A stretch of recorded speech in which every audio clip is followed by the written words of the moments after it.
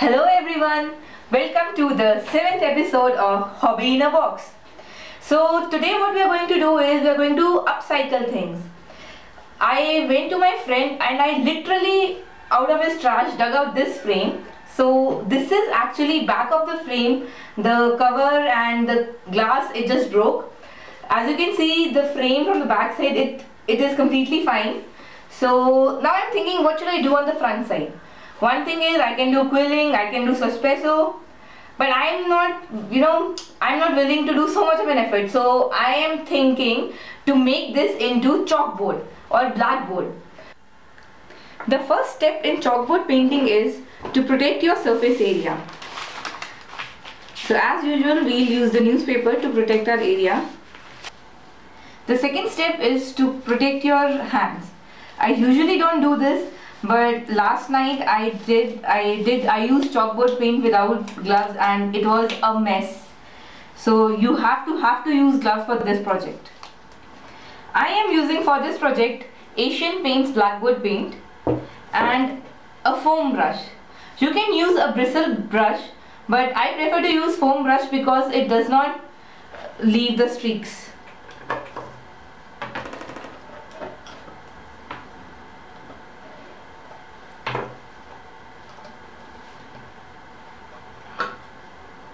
So this is how the chalkboard, your chalkboard paint will look.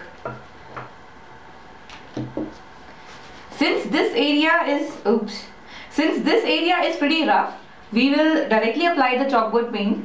If the area is not rough, you can use sandpaper to make it little rough. While applying the paint, you must take care that all the strokes are in one direction.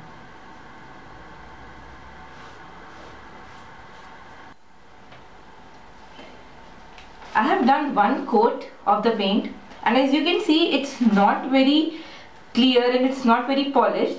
So what we'll do is we'll do two coats in this direction which is horizontal and one coat in the vertical direction. It will mask all the irregularities that you can see right now. So as of now you have to leave it to dry for about 30 to 45 minutes. Now this frame has dried up and you can see the coat is not even. Although you can write with chalk on it, but it still won't have an even coat and, and it won't look perfect. So for that we are going to do another coat on top of it. As you can see the second coat is dried but you can see there are streaks. So now to counter it we are going to paint in this direction.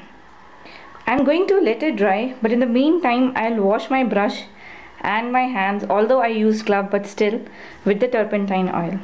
And do remember to use turpentine oil only outside. After three coats it is finally done. And as you can see the finishing is also really good. Now we will prime it. I say prime it basically we'll take a chalk and rub it sideways so that the whole surface that was painted with chalkboard paint is covered with chalk dust. We do this so that the paint is not sticky anymore and we can use chalks with it. You can easily remove the chalk dust with cotton. Go it once, then second to remove the excess dust if you do not have a good handwriting then I'll show you trick. Uh, sorry for the paper. So for example I have printed out the font which says out my name and let's say I want to print M and I do not have a good handwriting. So what I do is basically I rub the chalk piece on the back of the paper put it somewhere like this and then with my pencil I draw out the outline of M